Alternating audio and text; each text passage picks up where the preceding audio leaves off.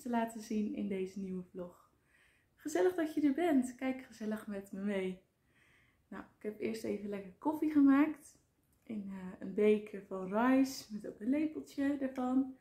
En uh, ik heb sinds zondag een nieuw koffiezetapparaat. Die heb ik gekregen voor moederdag. En hij is echt super leuk. Ik heb uh, net ook een filmpje gemaakt hoe ik deze koffie gezet heb. En even kijken of ik daar een leuke reel van kan maken voor op Instagram. Nou, koffie erbij dus. Een lekker Tante Betsy jurkje aan. Volgens mij van alweer twee jaar geleden, de zomercollectie.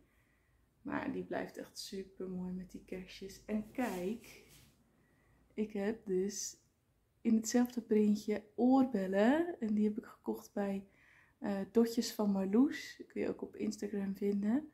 En die maakt dus uh, oorbellen bij allerlei Tante Betsy jurkjes.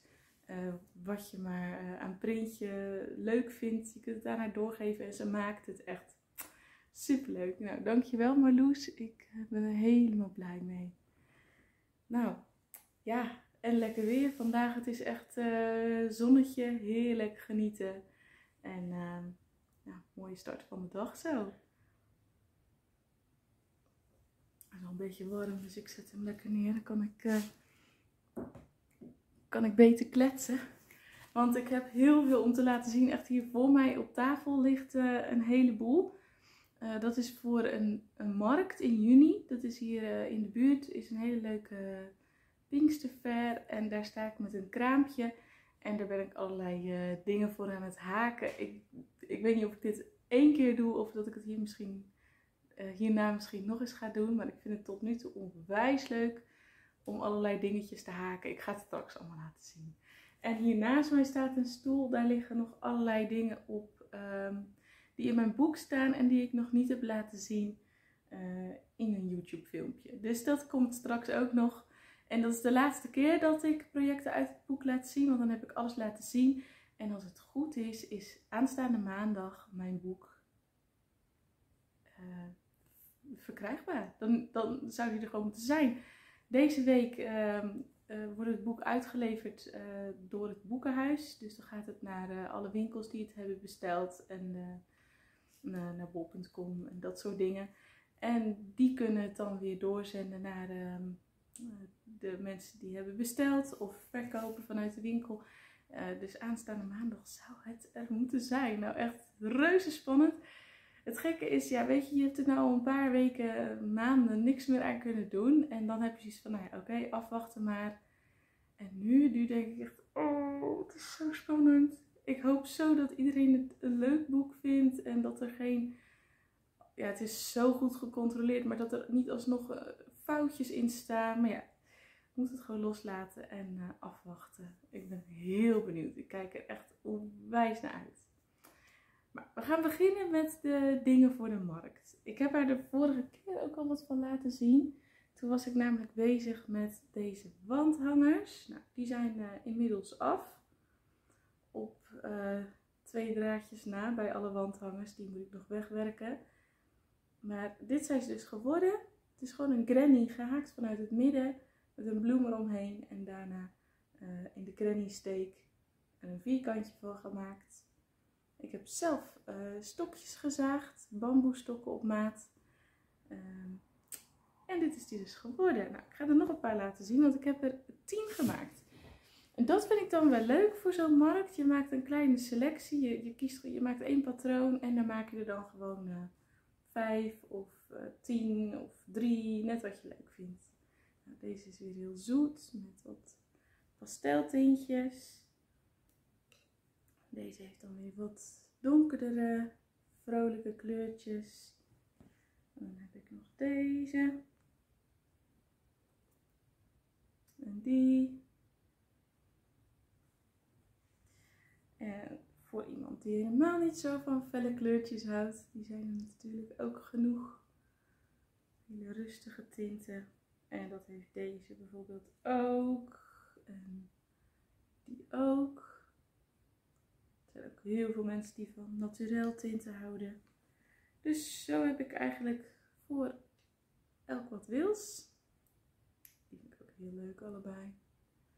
Ja, het is ook wel een beetje spannend. Hè? Gaat het verkopen of, of zit ik eind van die dag alsnog met uh, mijn tafel vol? Ik heb geen idee.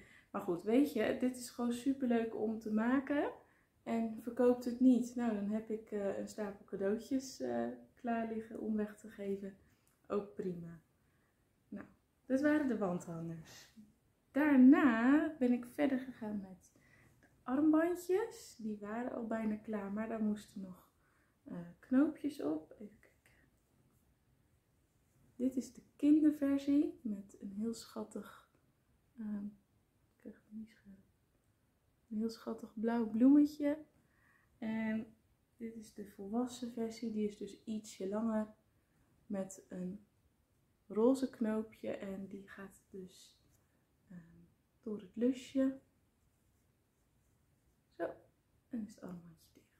Gewoon heel eenvoudig, maar um, het is een hele mooie sokkenwol die ik hiervoor heb gebruikt.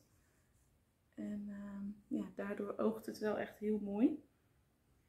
Nou, dat waren dan de armbandjes. Daar heb ik er uh, 10 van. 5 voor meisjes en 5 voor dames.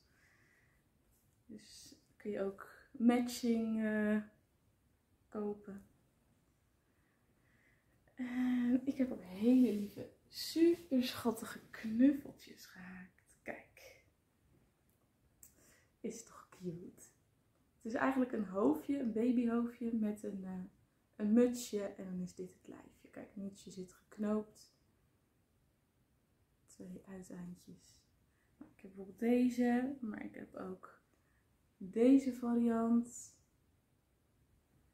En deze vind ik ook heel cool met lila en wit. En niet alleen uh, meisjeskleuren. Kijk, dit is ook super leuk. Kan ook heel goed voor een jongen met okergeel. En deze ook heel schattig. Nou, dat zijn er dus vijf bijvoorbeeld. En uh, ja. Zo heb je, is er ook voor iedereen iets te kopen. Ook voor uh, ja, als je een cadeautje zoekt of zo. Schattig hè. En ook gewoon lekker vrolijk, kleurrijk. Ook hier moet ik nog wat uh, draadjes wegwerken. Maar daar ga ik gewoon een keer voor zitten en dan doen we alle draadjes in één keer. Wat ik ook heb gehaakt, dat zijn uh, hele gave pannenlappen die je ook als vaatdoekje zou kunnen gebruiken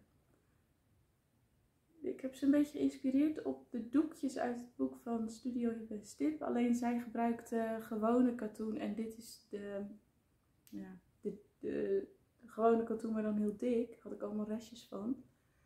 Dus ik heb ze net iets, uh, ik heb ze vierkant gemaakt. Bij haar zijn ze dan nog uh, een stuk langer. Maar deze kun je dus, omdat ze wat dikker zijn, ook heel goed als uh, pannenlap gebruiken. Dus dan kun je gewoon je pannen optillen. Um, zo, twee bijvoorbeeld kun je zo je pannen optillen. Maar je kunt ze ook gewoon als vaardoekje gebruiken. Omdat het natuurlijk uh, katoen is. Dus gewoon hele stevige kwaliteit. Kun je gewoon lekker je tafel mee afpoetsen. Hoe leuk is dat met zo'n uh, vrolijk doekje. Nou, even, hier heb ik er vijf van gemaakt. Die. Die. En die. Gewoon heel leuk. was ook een heel leuk projectje om even te doen.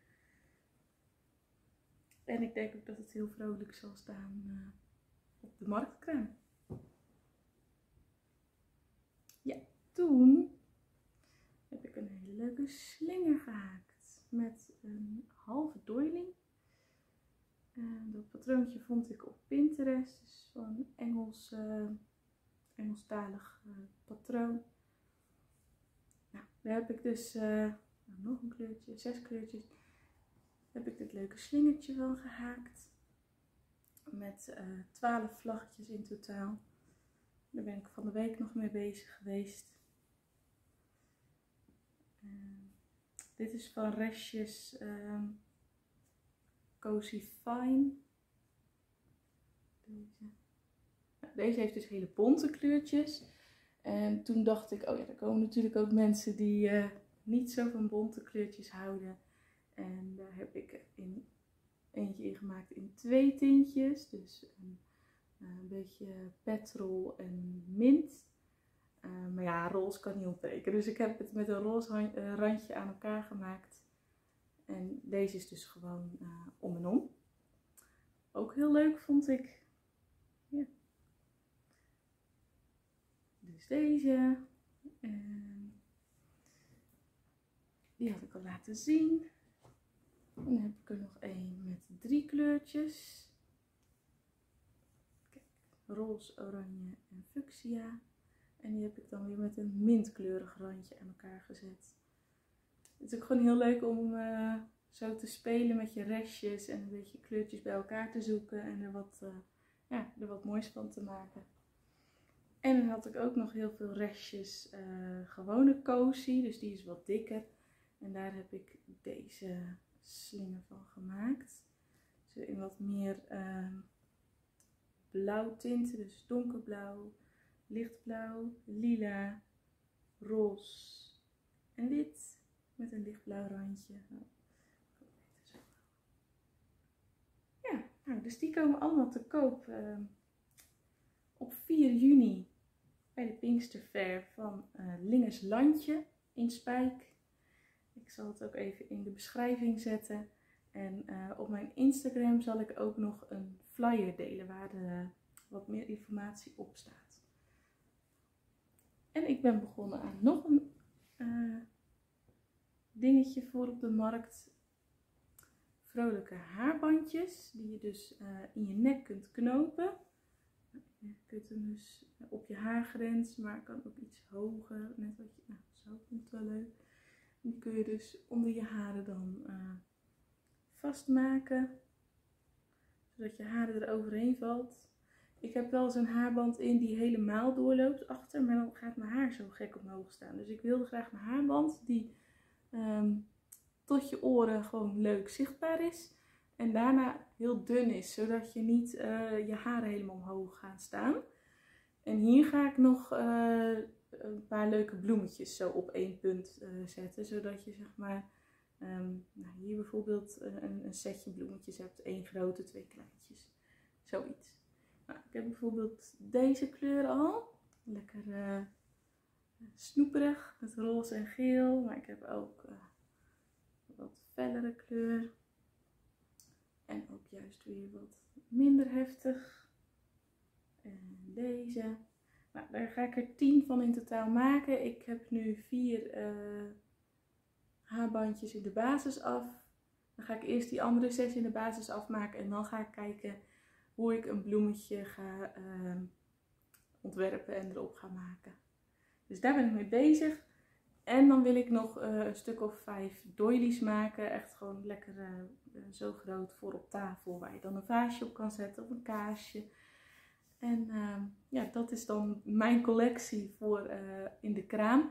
En natuurlijk neem ik mijn boek mee. Want dat vind ik ook wel heel leuk om dan een hoek van de kraam wat spullen uit het boek op te hangen neer te leggen. En dan het boek in het midden en die zal dan ook te koop zijn.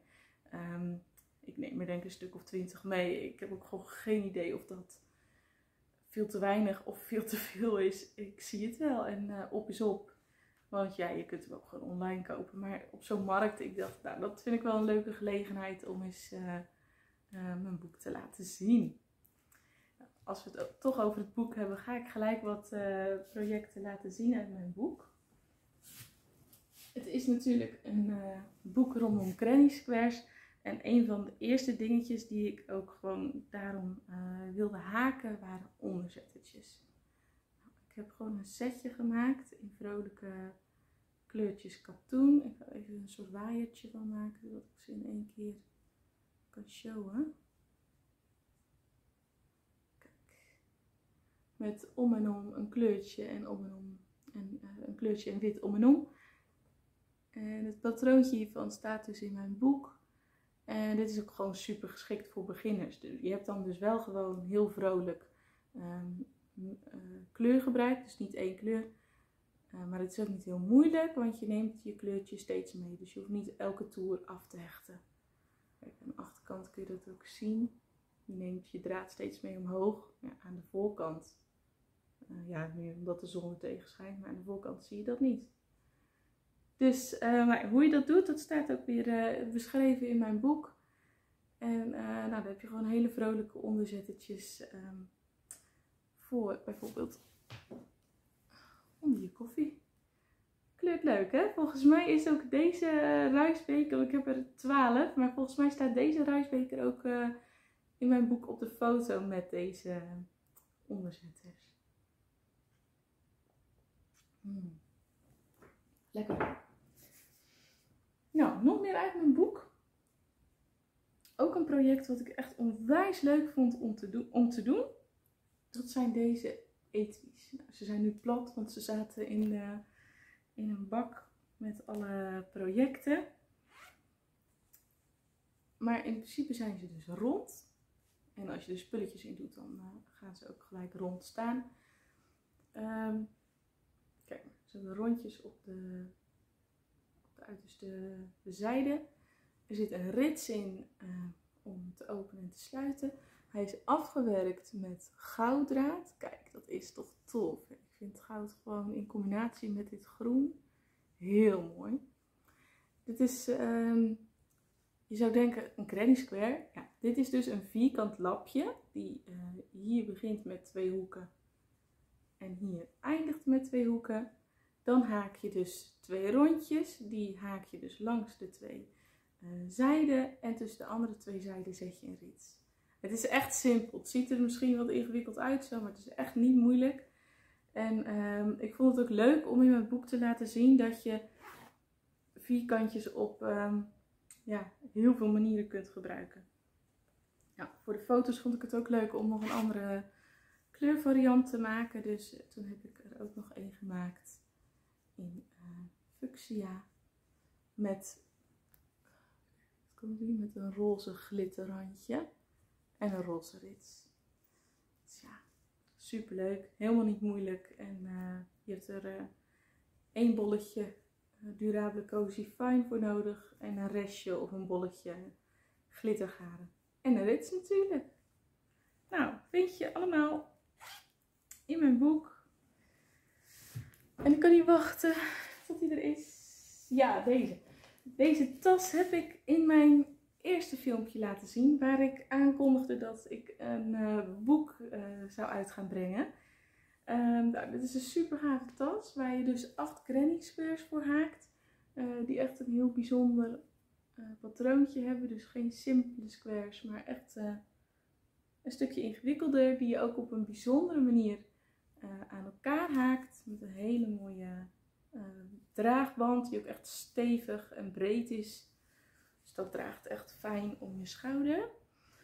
maar ik vertelde toen dat ik hier ook een mini versie van had gehaakt, maar dat ik die op dat moment niet kon vinden. Nou, die lag dus ergens anders. En tada, die heb ik dus hier bij me. Deze heeft precies dezelfde granny square, maar dat zijn er maar twee. Dus die haak je gewoon zo uh, aan elkaar. Wel met ook een mooie brede band. Um, maar zo heb je dus een tas voor jezelf en voor je mini. Dus voor je dochter of voor je nichtje of voor je kleindochter, vriendinnetje, buurmeisje. Dit is toch te leuk. Kijk, voor de damestassen heb ik ook echt gekozen voor uh, kleuren die gewoon uh, ja, net, ja, hoe zeg je dat, iets volwassener, iets meer bij dames passen. En voor het meisjestasje heb ik gewoon echt lekker funny, vrolijke kleurtjes gekozen. Ja, echt. Hier maak ik me echt wel een sprongetje van. Het is wel echt een project waar je um, misschien wat langer mee bezig bent. Um, een tip, zoals ik het heb gedaan, is dus de 8 cranny squares tegelijk haken. Dus eerst 8 keer toer 1 en 2, dan 8 keer uh, toer 3 eromheen, toer 4. Dan hoef je dus niet um, uh, 8 keer achter elkaar het patroon door te lezen, want je vergeet toch elke keer weer, oh ja, toer 5, hoe ging die ook alweer? Dus als je alle 8 lapjes tegelijk haakt, um, gaat het veel sneller, want dan haak je dus 8 keer toe 5 uh, achter elkaar. Maak ik het nu heel ingewikkeld? ik weet het niet. Maar dat vond ik dus zelf heel fijn. En dan uh, wordt het vanzelf een hele mooie tas.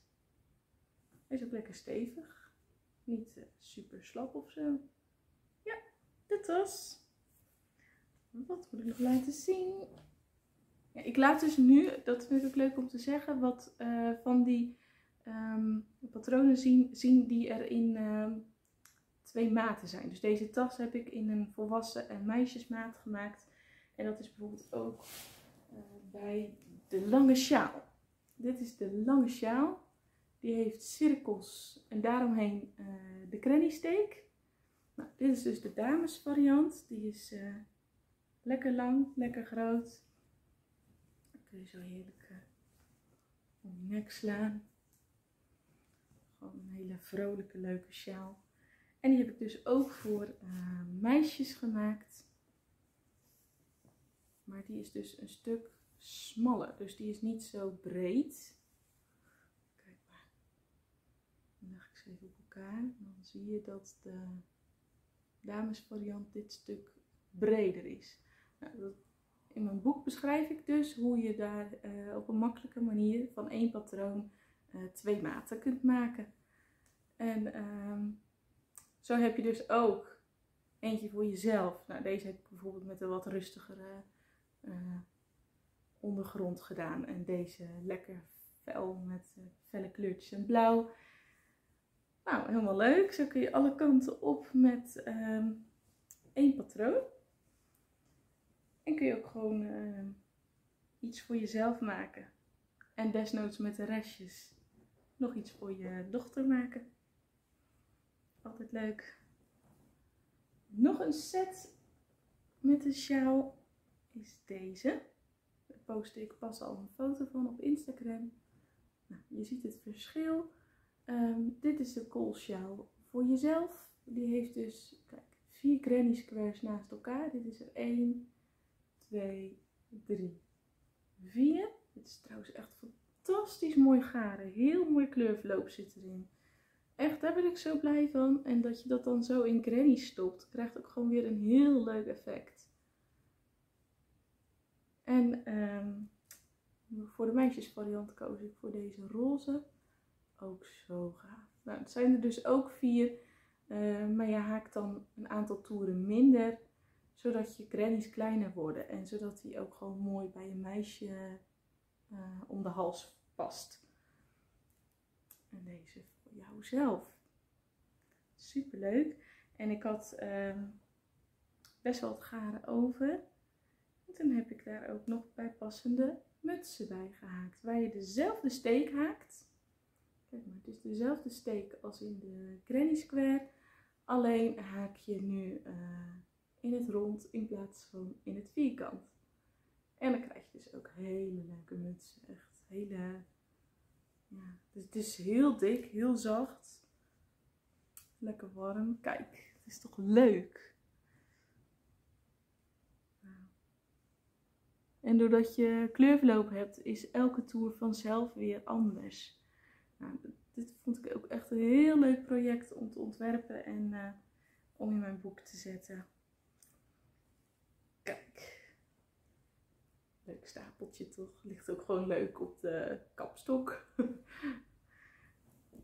en dan het laatste project dat ik ga laten zien. Dat is het keukenschotje. Nou, Kijk, 9 granny squares met paddenstoeltjes.